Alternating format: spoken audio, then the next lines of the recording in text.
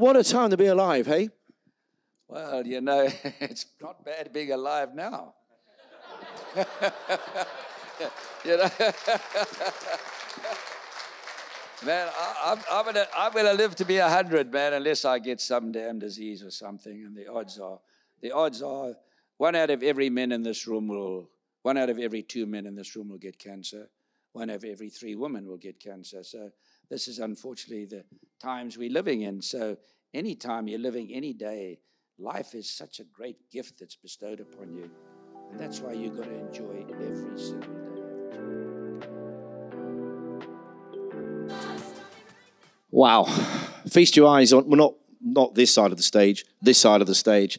Two two amazing champions together, and uh, two old buddies. Um, when I say old, I mean you've known each other a long time. That's that's what I mean by that. You've known each other for a long time. I'm going to start by asking each of you your impression and opinion of of each other as you've known each other for so long. Let's start with you, Gary. You've known Tony a long time as a player, as a competitor, as a friend. I wish I had the vocabulary of my all-time hero, uh, Sir Winston Churchill to have the capabilities of putting it to the fore. Uh, I've known Tony for a long time. He was the most charismatic golfer Britain has ever had. He could have been a bullfighter, he could have been a motor car driver. And what he did was, and I vividly remember because I've been playing in this great country since 1955. And they used to have the Ryder Cup, and I never honestly used to even look on a Monday to see who'd won it. It was a foregone conclusion. And along came this man and inspired people to play well. You see, leadership is something that is an essential ingredient in life. And he had that at the right time. The Open was a foregone conclusion that a British player was not going to win.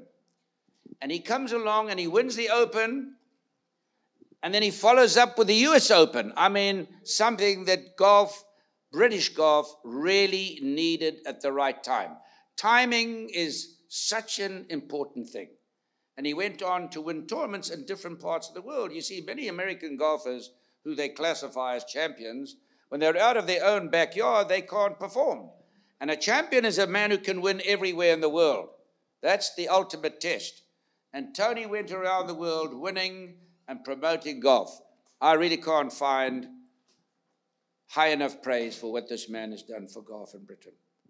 There we go. There we go. Gary, Gary. Okay. Well, Tony, no pressure. Follow, follow, follow that. Well, you know, I met Gary. I, I, first of all, I want to thank him for, for being here. And uh, we, we were up at the Belfry a couple of days ago for uh, rainbows, and I want to thank him uh, for his uh, for just being being along with us. It's it's been fantastic. I met this man in nineteen in the early sixties. I went down to South Africa to play the South African circuit as a young man, and of course Gary was. Uh, he was winning everything. He was 10 years ahead of me with uh, his open win. Uh, but I remember one of the things he was working on, stupid, uh, but he used to work on lots of things because we're all looking for the secret of how to play better. And I think Henry Cotton told him one time that if you want to stop hooking the ball, you can you want to stand uh, with your left heel up like that. And can you remember this? It's rubbish, yeah, yeah.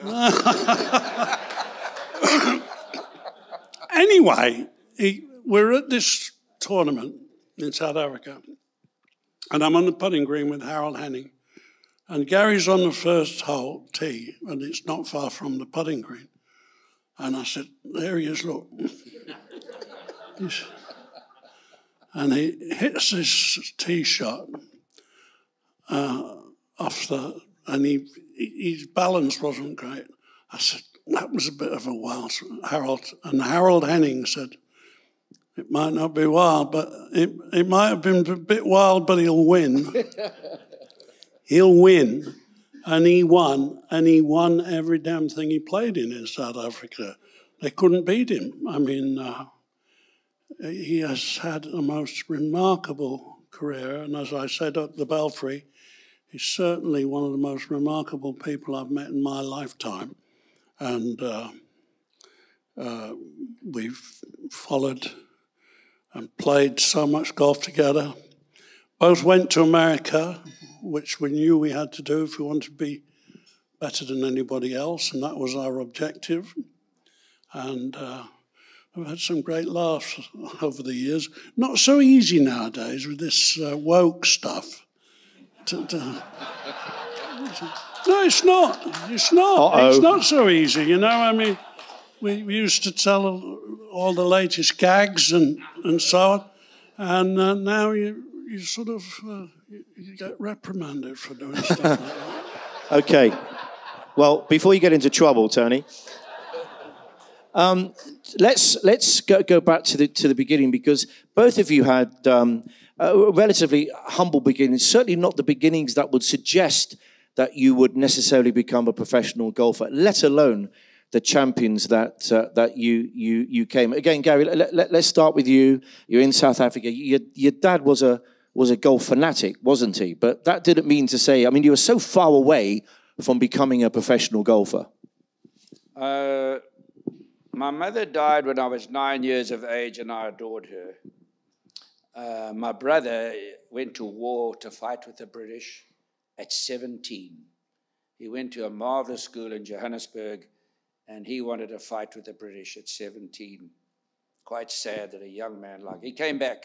My brother-in-law went with him, did not come back. Uh, my sister went to boarding school, and I went to this great school called King Edward VII, this English school in Johannesburg. Thank God I went there, because education is the light. And they taught us manners, and they taught us world affairs and the greatest sporting facilities. But then I'd go home after an hour and a half of traveling, and I'd get to a dark house at nine, nobody there.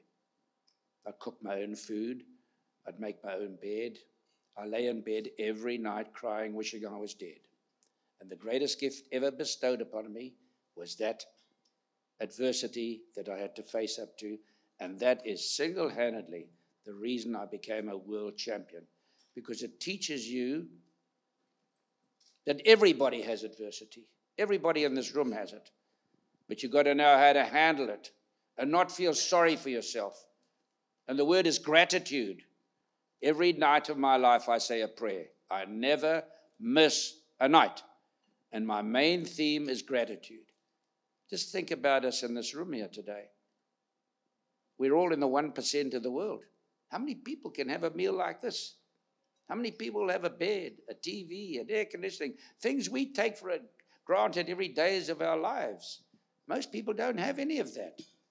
So, through golf, this incredible sport, and I got honors for four sports at school, but they could not stand me in good stead. Golf is a passport to the world. I've played with every president in America, royal family, leaders all over the world, but also in the poor villages of India and Africa, where I maybe learned more with humility and gratitude. So it's been an epic journey for me. I've traveled more miles than any human being that's ever lived. What an education which I strive for. Even today, I strive for it. So I've been very blessed.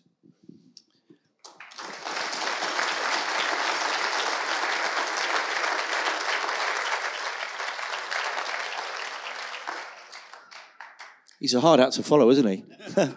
so, what about you, Tony? Okay, you come, come from Scunthorpe, that famous sporting town. Uh, Kevin Keegan, Ray Clemence, Ian Botham, Tony Jacklin. Um, but again, uh, you were obsessed with golf. There wasn't really much else to do, was there?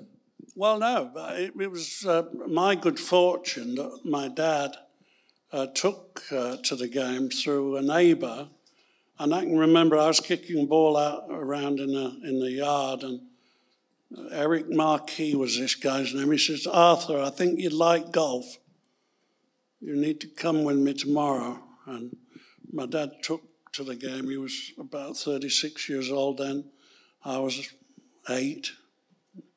And uh, he went, I followed, I pulled his trolley and had a go when we were outside, away from the members' eyes. And uh, so that was the most fortunate thing that ever happened, as far as I was concerned, that my dad took to the game. And I'm thankful that he was alive to see me win my majors and, and uh, he saw all the, the Ryder Cups. He was a golf fanatic. He loved the game. And uh, as Gary said, it, uh, well, it was my passport as well to, to education. I left school when I was 15.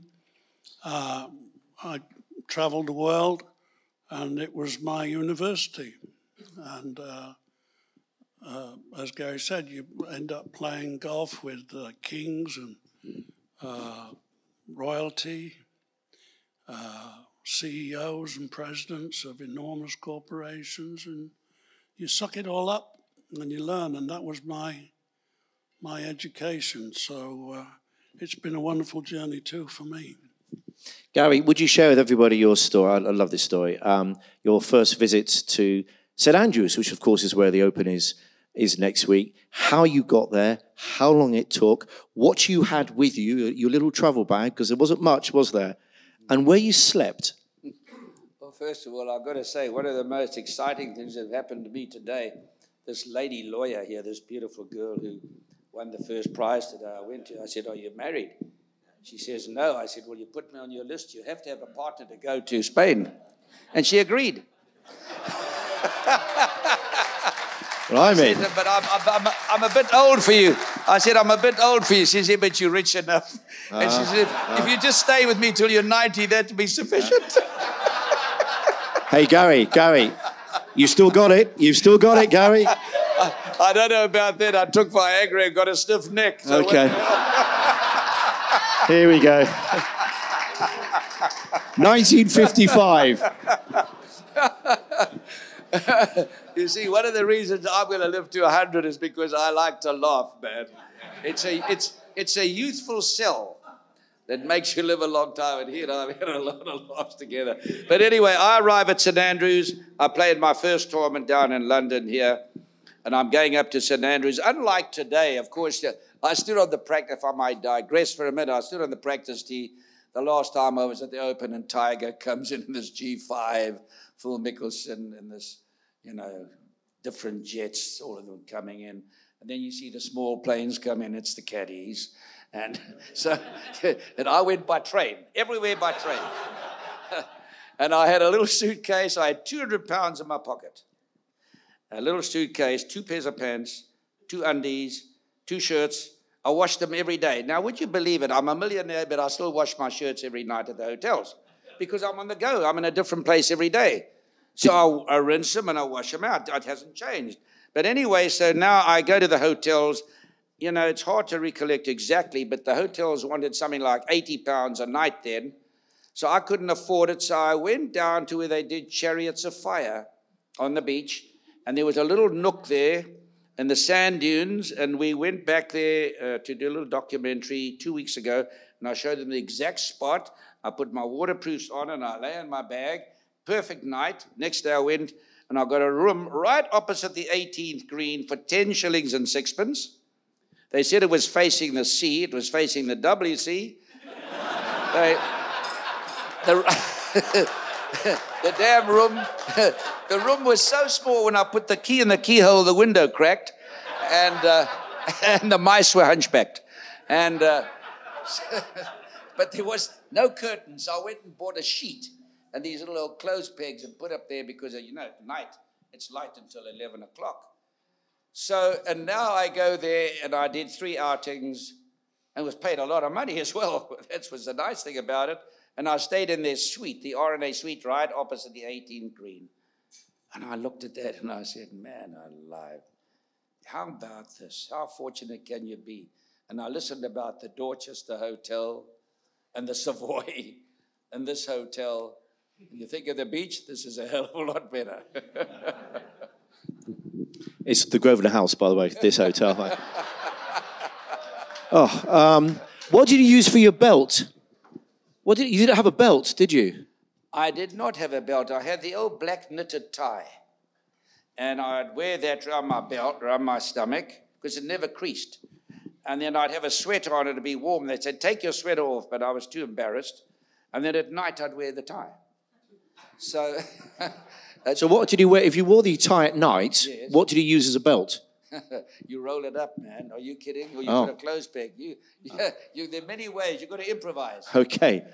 And share with us, for everybody who's been to St Andrews, and what a beautiful place it is, um, it does have a ridiculously wide first fairway, doesn't it? And would you like to share with everybody your the first time you, you drove on that ridiculously wide first fairway? Can you imagine a young man from South Africa getting on this holy grund on the first tee at this famous place that was first started in 1754 and the great championships that have blessed and walked the grounds and the historic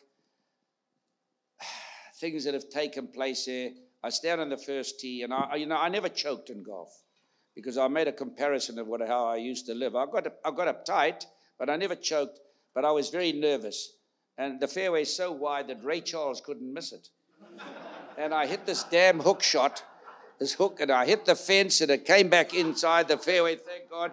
I went to pick up my tee because in those days you paid two cents a tee. So I picked mine up, and anybody else's who was there. So as I'm walking away, the big starter, Dur guy with his kilt on, he says, Hey, laddie, come here a minute. He says, uh, Where are you from? I said, I'm from South Africa, sir. And he says, And uh, what's your name? I said, Gary Player. And he says, "And What would your handicap be? I said, No, I'm a pro. He says, You're a pro. He says, You must be a hell of a chipper and putter because you can't hit the ball, lad. Uh, There's a sequel to that. I come back three years later, and I'm the youngest man to ever win the Open, 23. So now, I'm going to imitate him. He sees me coming through the ropes, and he says, he says "It's a bla- it's a mirage." he says, "In fact, it's a bloody miracle." You, you, um, uh, were you aware of Gary Player in the late fifties, Tony? I mean, there was a the golf wasn't televised then, was it? So, how aware were you of this um, machine? Well, I was, I, w- I was, I loved golf. So, I s you know, we had golf, Golf Illustrated was our magazine, and uh, I suppose Hogan was the biggest name uh, when I started in in '53, and uh, that was the year he won three of the four majors, and he didn't play in the other one because it was at the same time as one of the others he was playing. Um, and uh, I followed golf, and uh, Golf Illustrated always had, uh, obviously, latest, greatest, everybody, and Gary was all part of that. But as I said earlier, I, I, I it wasn't long. I was uh, 18 years old or so when I met him for the first time in South Africa. Um, I spent, uh, I think I was at his 31st birthday in Australia when I was, I wasn't very old, but I think you uh, celebrated your birthday in Australia with you. Eight years, is it eight years Uh, difference? I think between you two. Eight- Nine, Oh, was it your birthday yesterday, by the way? It was, It was Tony's birthday yesterday. Ah, Another.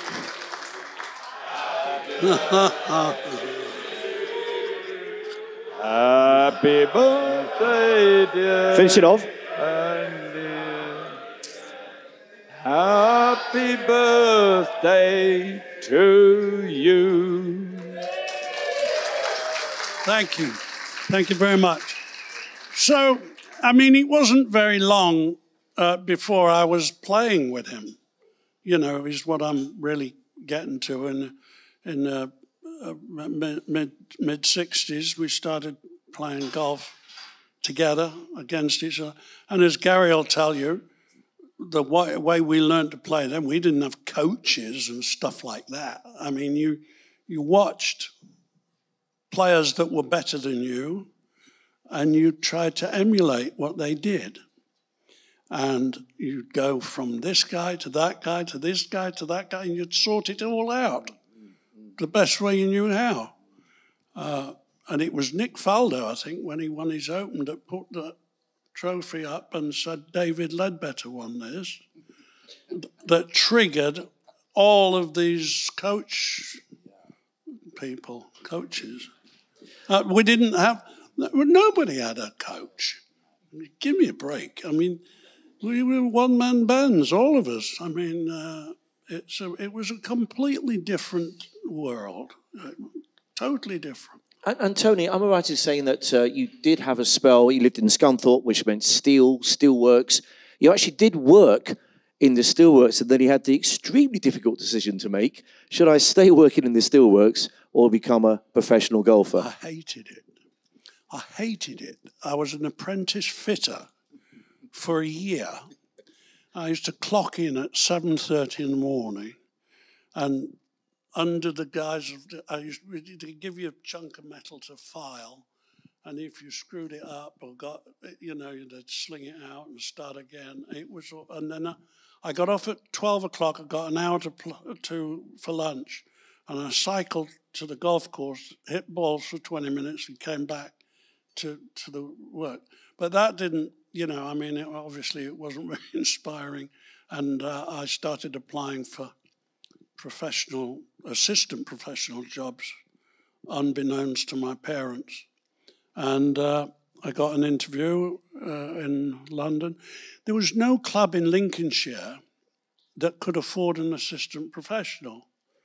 So it meant leaving home to, to if you wanted to do that, you know, and uh, which of course I was very happy to do, but my parents weren't very keen on it. And uh, but it all worked out wonderfully, and uh, uh, I wouldn't. It's not too bad, was it, Tony? No. I, but I have to say, I have to say, it's golf's golf's gain, but I think we'll all agree it's British Steel's loss, Tony. British Steel's loss. You know. I want to elaborate on this teaching business. This is fascinating. With all the technology today, the worst teaching is taking place in golf right now. You take the second best player that ever lived, Tiger Woods. I mean, he was on his way he doesn't. No, they no, you, you read that you wrong. You read that wrong. Uh, Nicklaus won 18 majors and he finished second 19 times. But only your dog knows and your wife knows who finished second. But be that as it may, Tiger Woods. Tiger Woods is on his way now to being the greatest player that ever lived. And if he, if Tiger Woods had what I call CTR, chosen the right, he would have won 20 majors minimum he made a lot of bad choices, which we all do, and it's very easy to do, and I'm not critical of it. But he goes along and he wins the, think about this, he wins the US Open by 15 shots. It's not on. It's not on. The next week he's having a lesson from a guy who can't break 80. The following week he's having a lesson from a guy who can't break 85. So they teach him to lay the club off, which is the worst thing to do, and to suck the club in here when you've got to get your weight across. So they just absolutely destroyed this super, probably would have gone out as the greatest athlete, man or woman the planet had ever known. That's how close he was. And he never wins another major for 11 years. Think about that. And now you find there are 12 guys today Trevor Immelman, Mike Weir, Ian Baker Finch. You can go right down the line. Uh, Martin Kaymer, David Duval, not one tournaments, one majors. Can't play anymore can't play anymore. From being major championship winners, they go to these coaches who've never been in the arena. They know what the hell they're talking about. They read something about in a book, and they are convincing, boy. They are great salesmen. And arrivederci, Roma. Sayonara. You never see them again. Can I um Gary, can I can I just say it's a, it's a real pleasure to have a table of golf coaches just uh, sitting over there. Um, so thanks for that. I'm talking about teaching pros. Yeah. I'm not talking about teaching your members, your ladies, your juniors. They are perfect, but not everybody's got a. They're lost in life. Their category, and their category is not to be teaching Tiger Woods. Yeah. Right. Okay. So, uh, 1959, you win uh, your first Open, and I think I might be saying, Gary, you'd actually thought you'd blown it, didn't you? You thought you'd blown the Open at the death to the point where you didn't even hang around, did you? You just walked back to the hotel. Not quite right, but I did think I'd blown it. Yes, I had a six on the last hole in a strong wind and, and rain, and I needed four for 66 and had a six on the last hole. Very, very difficult hole, Muirfield, if the wind's blowing. Extremely difficult hole.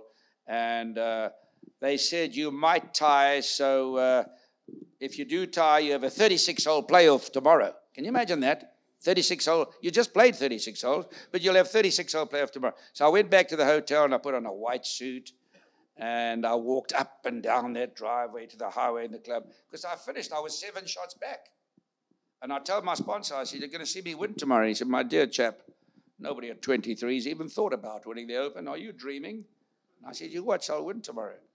And I walked up and down and up and down, and thank goodness I won. Because you see, the Open Championship, much to the disgust of most Americans, they don't understand that the Open Championship is the greatest championship on the planet. No. Now, although my family tree, this side is English and this side is Scottish, I'm still a South African, so I'm able to judge fairly and to say, you know, you win the Open here. You don't need a yardage book. Today they got books to read the green. They have three practice rounds. Ray Charles can read the damn green after three practice rounds. And they, they stand like this when they read a green. There's though they stand like this. And I, it's just beyond my comprehension, but they're stopping that baloney. But anyway, you play in the open, you don't need, you've got to use. You see, there's a great saying trust instinct to the end, though it render no reason. And you stand there and you've got 150 yards and you take a wedge. Tomorrow morning you wake up, you've got 150 yards, you take a three wood. That never happens in American golf.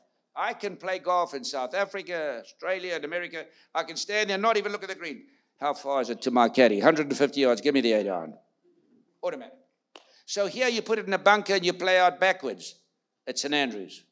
And I hear the Americans say, it's not fair. I said, well, life ain't meant to be fair. You know?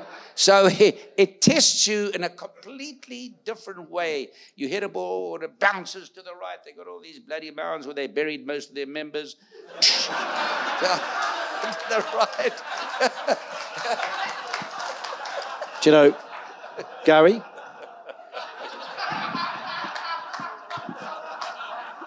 Gary, Gary, Gary, you've got to get off the fence sometimes and say what you really think. You know? By the way, I had no idea Ray Charles would feature quite so regularly in, in this interview. Tony, um, uh, try and be unbiased if you can. Is the Open the greatest major in golf? No question. No question about that. Um, and links is my favorite form of golf, but, but my personal favorite. I mean, because you have to be imaginative and even you, you have to just choose a club that will get the job done. And you, you have to be able to weigh the odds on a shot coming off. Uh, you have to have unbelievable, enormous patience uh, on links golf courses because you, you you can't win before you play. You know, you've got to you've got to go through, thread the ball through the bunkers, stay out of the bunkers, do all the. It, it's it's the full examination is what links golf is, and uh, the wind's never the same two days in a row. Everybody's going to get bad bounces, so you've got to swallow that up and and uh, stay positive. I love it. I think you, I, I do think the U.S. Open's the hardest one to win. Personally, we've both won. Well, he's won a lot more than me, obviously, but uh, I do think the U.S. Open, from a standing start, the way they push the the, the envelope with the greens and uh, it, it's it's a tough, tough one to, and especially you've got the might of America there all the time on that. I think a, a lot of a lot of the uh, the open courses they're not easy to attack. the hour open I'm talking about. You've got you've got to have this patience. You've got to realise that you know nobody's going to. I, I, when I won my championship at Lytham, uh, nobody's going to come at you uh, with the old clubs and everything back then. Nobody's going to come and shoot 62 on you in on the conditions that you play uh, on the open. I think somebody might. Well, in fact, I know somebody's going to shoot 62 this next week yes. at, at uh, yes. St Andrews, and somebody might shoot 59 or 58 as well if the weather's mm-hmm. benign, which is a shame. But, but that's nothing to do with the course. That's more to do with what uh, they've done, or lack of what they've done with the golf ball. So, uh, but we'll see. And uh, what a great game, though, altogether. I mean, you know, just altogether, you've got these different uh, golf courses, you've got links golf, you've got uh, thousands of different opportunities to enjoy this great game around the world. There's resorts all over the planet now. It's a spectacular game altogether. Well, let, me, let me enlarge on that a minute. Please you do. You take um, my wife and I, when she was alive, we had great. She was loved tennis. She was a scratch golfer. She often beat me up level. But I tell you what, she believed tennis to win the major of tennis was harder than golf. And I said, Verve, how can you possibly say that?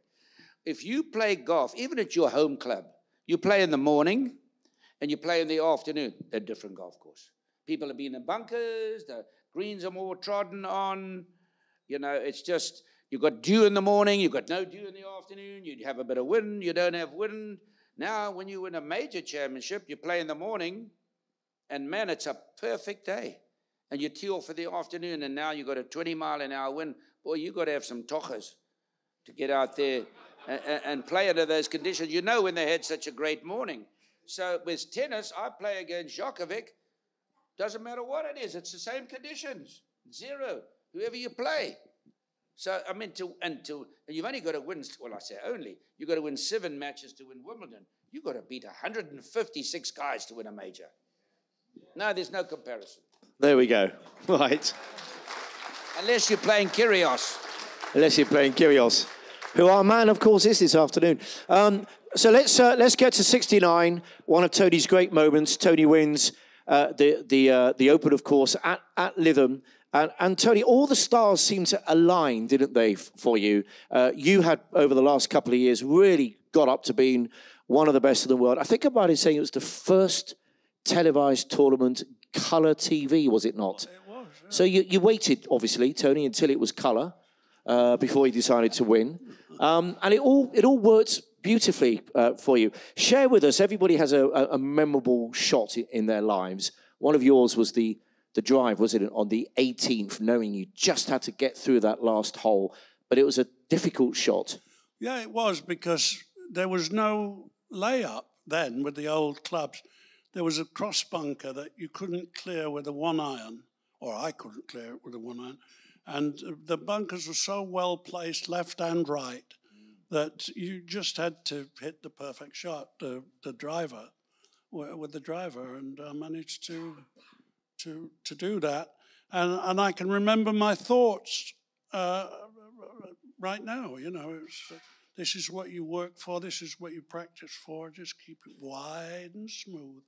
And as I was thinking it, I was doing it. You took a, you took a driver. You, now that let me tell you, that's amazing. Yep. Yeah. He took a driver to win. Now yep. the man, uh, if you the right thing to do is take a three iron, because those bunkers are like honestly from here, from here to this table apart. I'm not exaggerating. Yeah. And you saw uh, Adam Scott. Yeah. He lost it putting it in the bunker. Yeah. But so, he did win. He did no, win, Gary. I'm, I'm trying to say what a what a what a, what a mind he had, or what a mindset and what I said, how aggressive he was, and he takes a driver. Yeah, amazing. Yeah, well, I and I was aware that uh, Dave Thomas and Eric Brown, and I think Christy Senior, had, had, all come to that hole with with an opportunity to win, and uh, those bunkers uh, were the doing of them.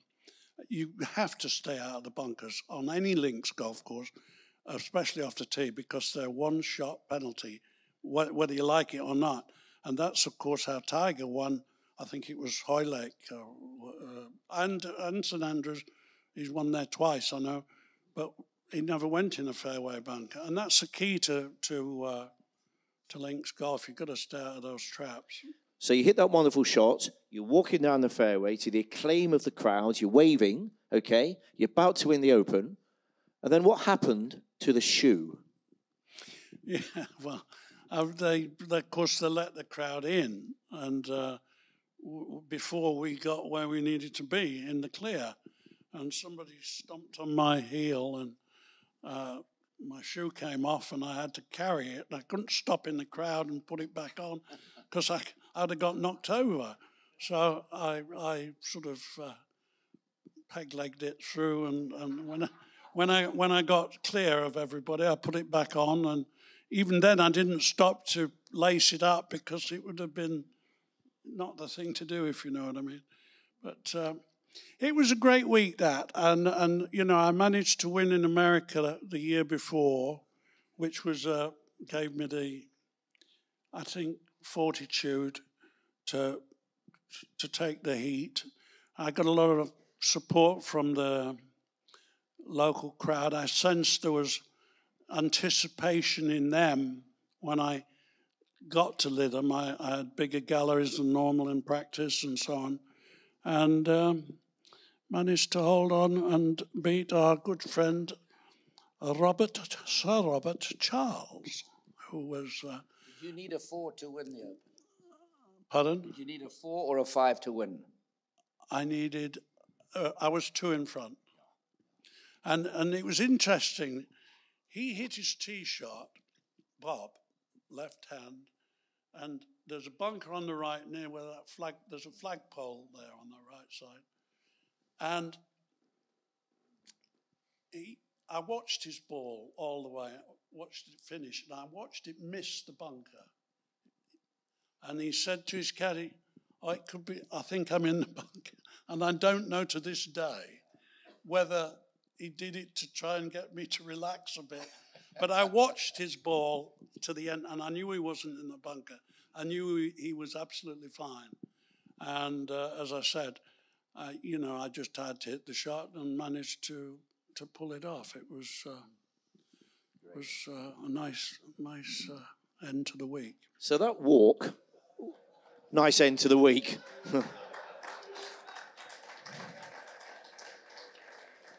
so, so that walk, even if you're walking holding one shoe in your hand, Gary, you you've been there. Is that one of the greatest walks in golf, in sport, in life? Walking down the 18th, knowing you've you're just about to win the Claret Jug.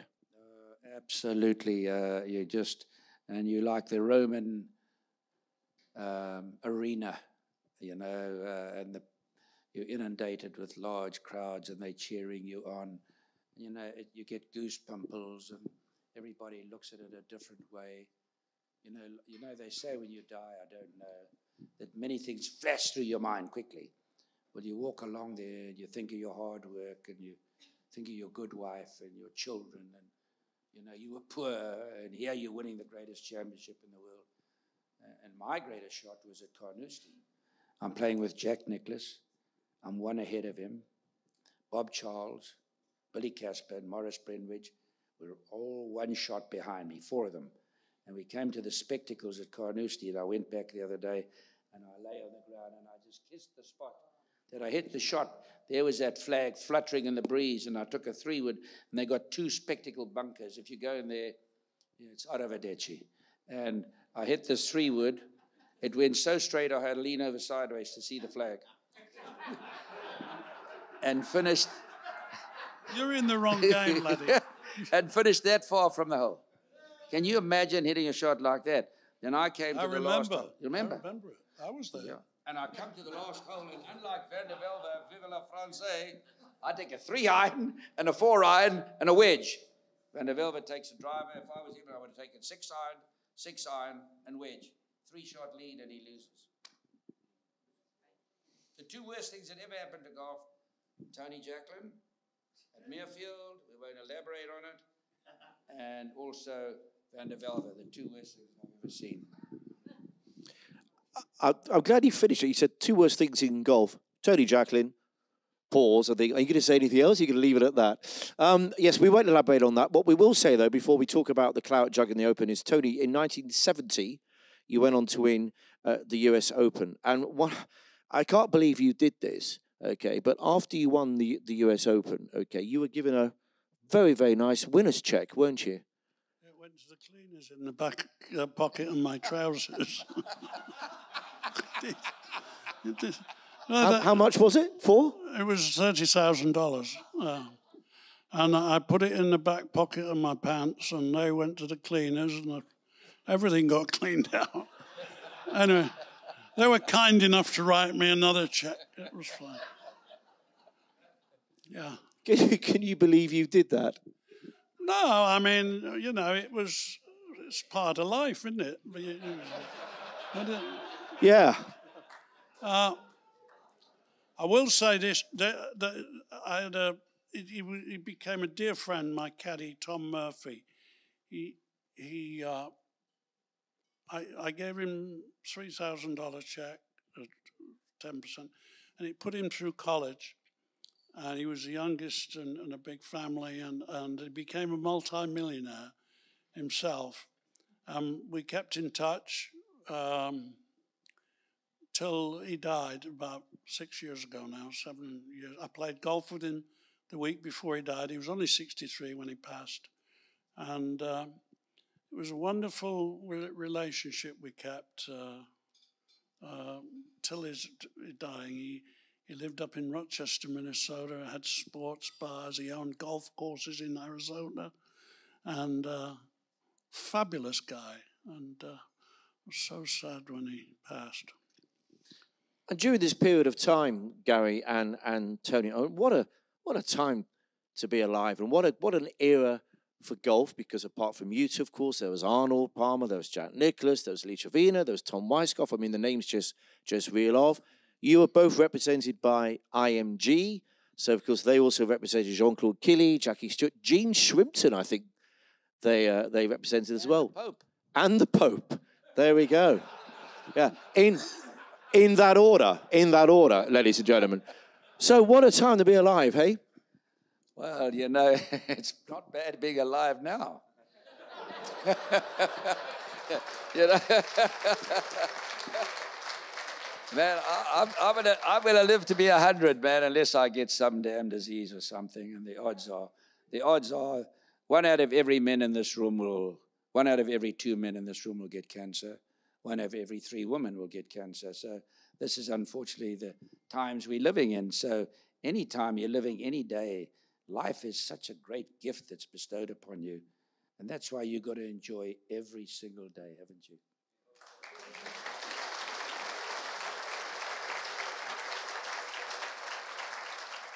Well, I think we're enjoying today, so that's that's that's it. That's a good start. Let's talk about that 74 win for you, your third your third Open, uh, mainly because it was in your third decade that you did it, and and I know uh, to you and to a lot of people as well, uh, when you measure greatness in in sport, it's not just how many you've won or of what it, it's the period of time. It's longevity. And one thing that we could certainly say about you, Mr. Gary Player, is that uh, a, a longevity. Uh, you've been winning uh, trophies. You still were until you finally packed up. Um, but uh, during the regular uh, uh, tour- tournaments, the longevity of you winning in the 50s, the 60s, and the 70s uh, in the Open is, is pretty remarkable. Well, I've always believed when you're judging who the best players that ever lived, I think longevity is something that's just put to the side. I think longevity is very important. Like Sam Snead was the greatest athlete golf ever had. He might be the best player that ever lived. He went to war for five years, as Hogan did in their prime. So they might have won more majors than anybody else. Uh, if you go to the other extreme, a man like Severiano Ballesteros, who we all loved and adored, he won his last major at 31. 31. We were just warming up then. So, you know, Nick Faldo won his last major at 39. So, you know, uh, Nicklaus won his last major at 46. That's impressive. So, uh, you know, to win tournaments, longevity means you had an engine that was working. You know, you'd had a Rolls Royce engine. And so uh, to me, that's a very big thing, I think. And, uh, but we're seeing things in golf now that I actually predicted. You're going to see people hitting the ball unless they do something about it 500 yards. You've never had a big man play golf yet. They're coming. When you see first prizes of a million, two million, three million, four million for a tournament, man, these people in China, I'm telling you something, while you're having breakfast in, in bed, this guy's been on the practice seat for two hours already. They're building in universities, they're building men. When I said you've got to start using weights, oh, you can't use weights. Well, I'm 86 years of age and I'm still pushing 350 pounds with my legs. I'm going to the gym when I leave here. I'm going to do hundreds of sit ups. I'm going to run the treadmill at max. You, you got to keep fit. you got to keep strong because it helps keep you a strong mind. And we have, we're in our infancy now. We're in our infancy. We, we, unless they do something. You what Tony said? If they have benign weather at St Andrews this week, maybe somebody will break 60. They'll drive seven greens. They're going to drive seven greens. They're going to have people stand on the first tee at St Andrews and drive over the first green. We ain't seen nothing yet. So they, the authorities have got to wake up because it's, it's ruining the game, I think. By the way, Tony's still a youngster. This man is 86 years old. How many? But he is slacking because he used to do a thousand sit-ups a day, and now you you only do 200, don't you, Gary? yeah, but you know, when I was younger, I could see my tochas. Now I can't.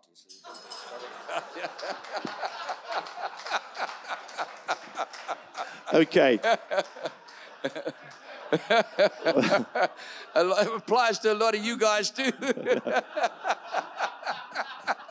Tony, Tony just said, don't encouraging. Um,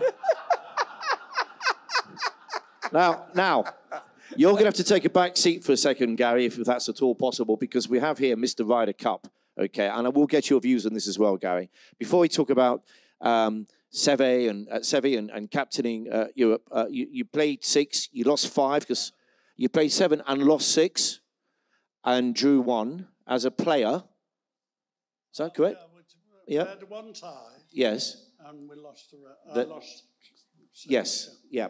Because that's what America used to do. But the one tie has gone down in history. 69, the same year that you you you win the Open, of course. And for those who do know the story, you can never hear this story enough. And for those who don't hear this story, settle back and listen to one of the greatest acts of sportsmanship. You may have a different view, Gary. We'll get we'll get your opinion in a second.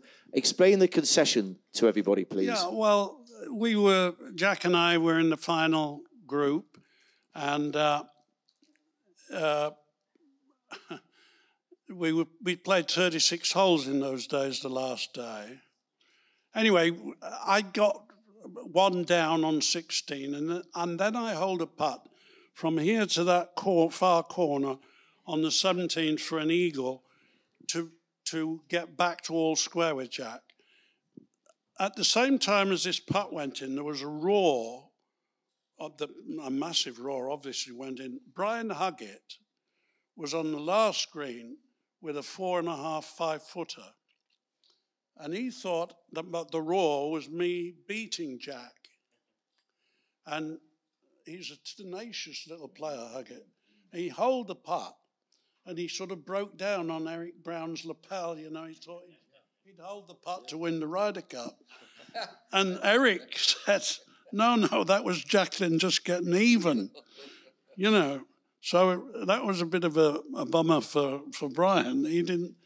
Anyway, I digress. Uh, we stood on 18T, all square, and I'm telling you, this is not where you want to be. All your teammates around the green, Everybody, you know, last two on the course, the outcome depends on you.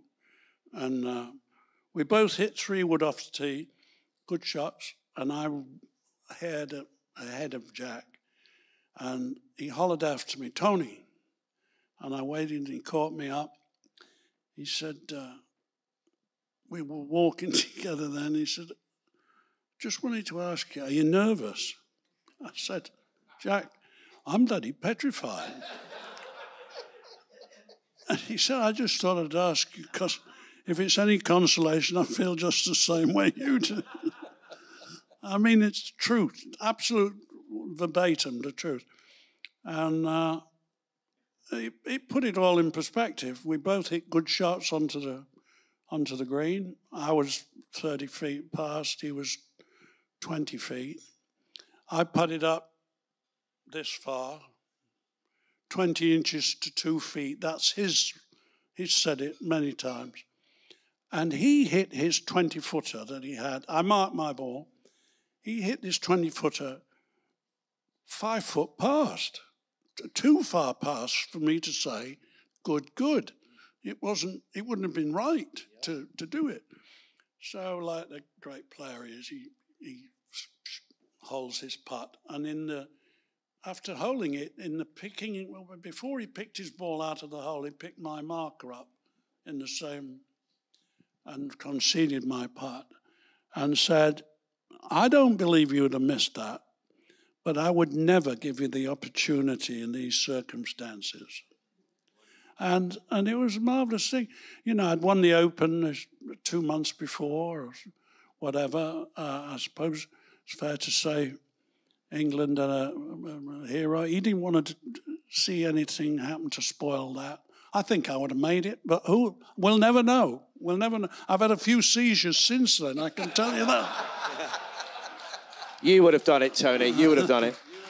Um, and and their captain, Sam Snead, he wasn't happy about well, that, was he? uh, yeah, Jack, we've talked about it often.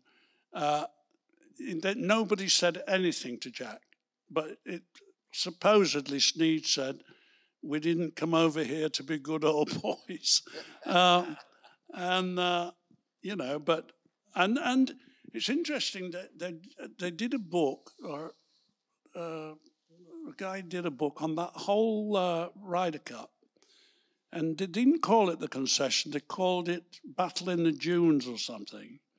And this guy interviewed all the American team and all the British team that was still alive.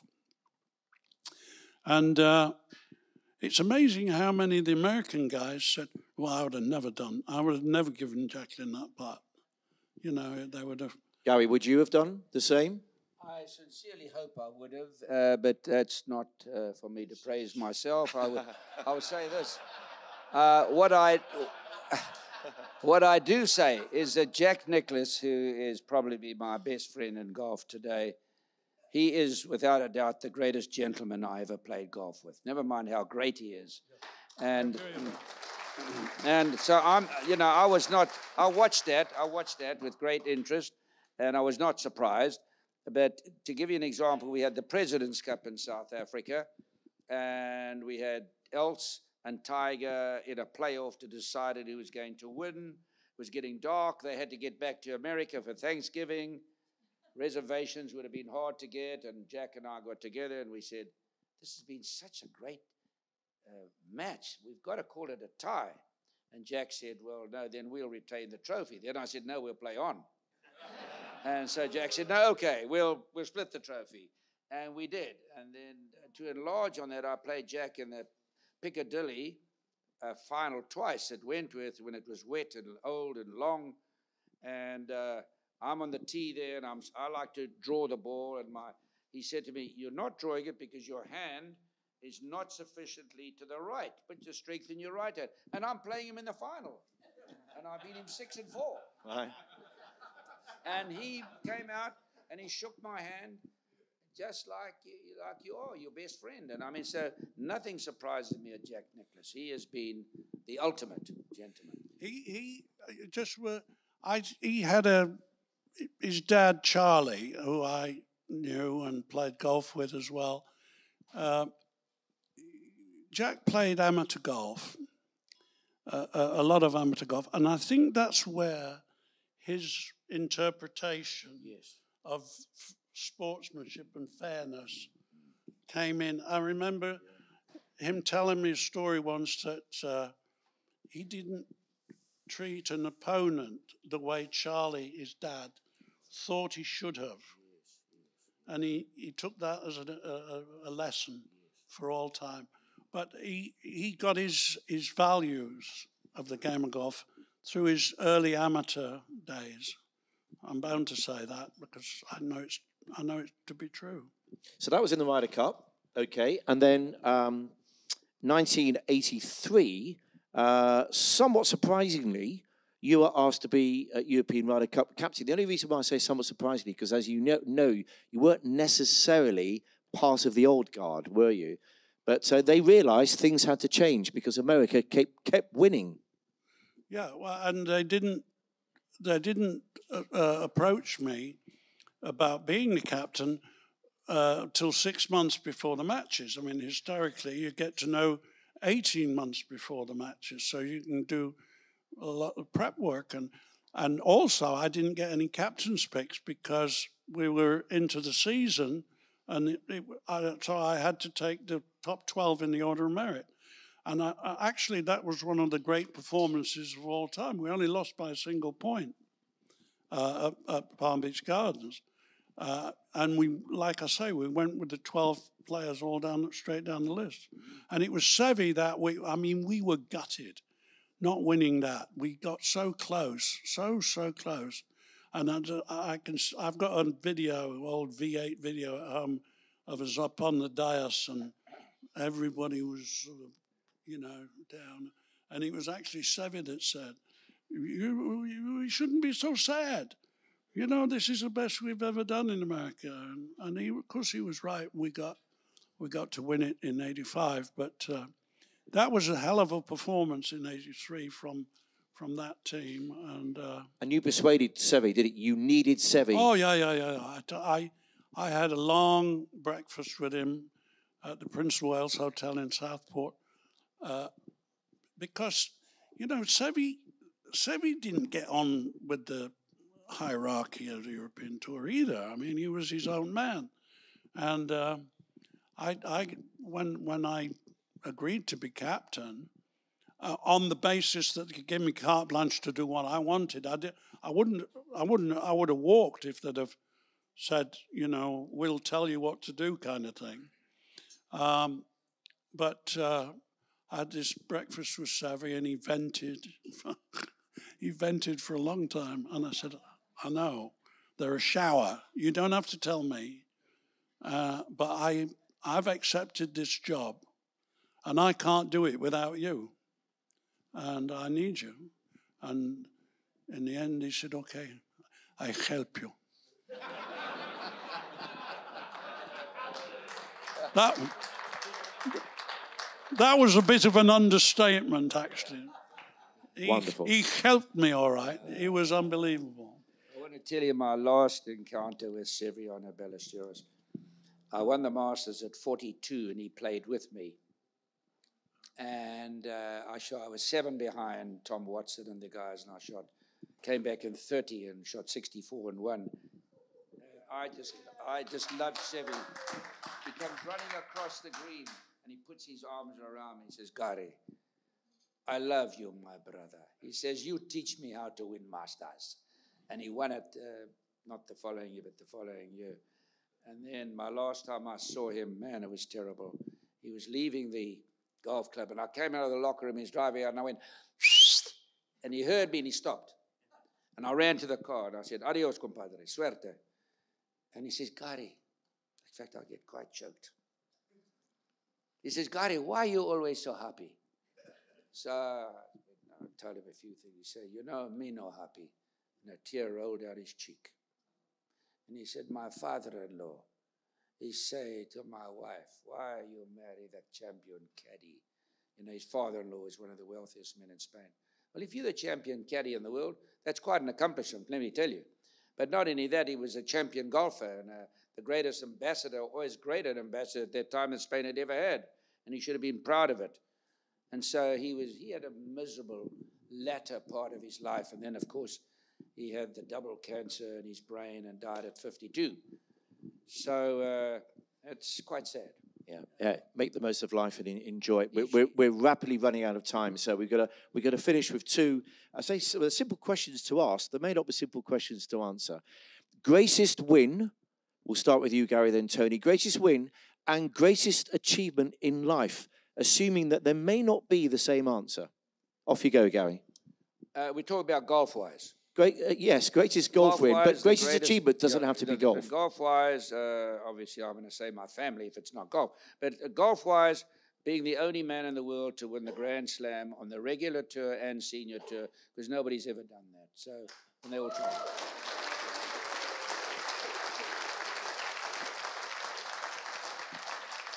And achievement.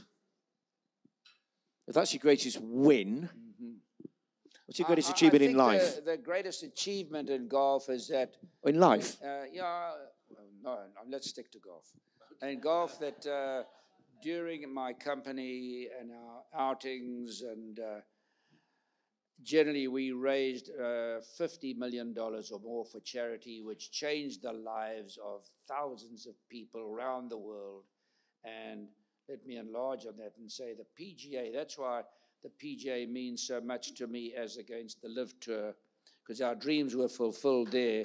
And and the PGA has raised three billion dollars for charity, which is more than any other two sports together. And that's what we're here for today: is to raise money for you know. When I think of the charity that it's for today, I've had five members of my family that have had cancer, and these people come along and they comfort you, and they do a hell of a job. So well done on the organizers of today. Okay.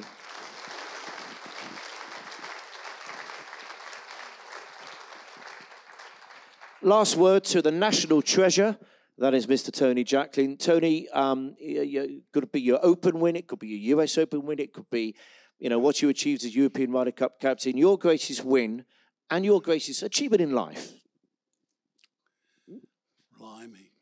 Uh, uh, well, I think my, uh, it's so di- difficult question. I mean, the Ryder Cup business was emotionally the most extraordinary experience I had, dealing with 12 individuals, keeping them loose and trying to, and ultimately winning for the first time in America, all that. It, it, it's, uh, as an individual achievement, my US Open win gives me the most satisfaction because I, I won going away, I led and increased my lead every day. So that was that. But it's, it's, it's such a hard question. The Ryder Cup thing was an emotional roller coaster, and the satisfaction of uh, being able to take these guys over the winning line was was uh, enormous. I mean, uh, incredible. And and from a personal standpoint, I mean, uh, hell, my kids, I suppose. I've got six of them, one way or another. Uh, uh, I've uh, two wives. Uh, uh, uh, first wife died long ago now, uh, 34 or 5 years ago. And uh, uh, we have uh, six kids between us, one, one between us and three from my first marriage, and, and I inherited two from her first marriage. And they all do great. They're all fantastic. They're all independent. That is enormous for me. Fantastic. We did relate it to golf. We did relate it to golf. Yes. Uh, I must, I must not end up on that if you don't mind, because I have 22 grandchildren, one wife, I've only got 15. Okay. one, one, wi- one wife for 72 years, and two great grandchildren. And I loved what John said today. His five children work for him. I worked for my 22 grandchildren, my six children, and my two great grandchildren. So I've got to win a tournament just to break even. There we go. Ladies and gentlemen, hang on. Ladies and gentlemen, 37 grandchildren, 11 majors, Gary Player and Tony Jacklin.